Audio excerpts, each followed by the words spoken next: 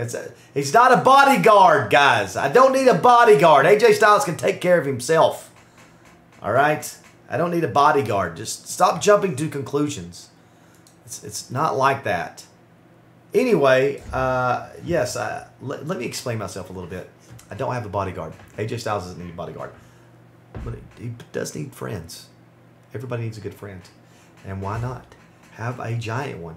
Do you know how crazy it's going to be on the basketball court with my friend? Okay, he's not even going to have to jump to dunk it. That's crazy. It's going to get it's going to get wacky. All right, two on two, taking everybody down. I'll be alley oop at him all day long. Whoop, whoop, just bow. It's like that. How tall is your giant friend? He's seven three. A legit seven three. He is that big. He is that scary. I'm telling you, he's a beast. Do I need a bouncer? Eh, you know, maybe. I mean, that's that's definitely not a bodyguard. It's a bouncer, man. Keep, these cats off of me. Back off. I'm doing something.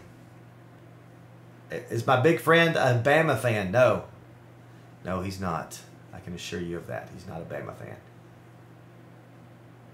He's your Willy Wonka to your Oompa Loompa.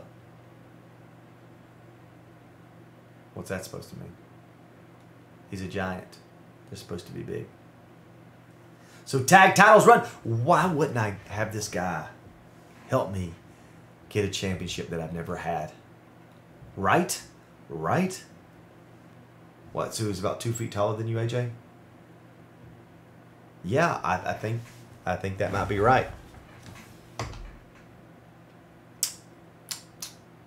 Two feet? No, not quite two feet. It's big though. He's enormous. He's enormous. He's a. a it's weird. You, you even my for myself. It's like. It's. It's it's crazy.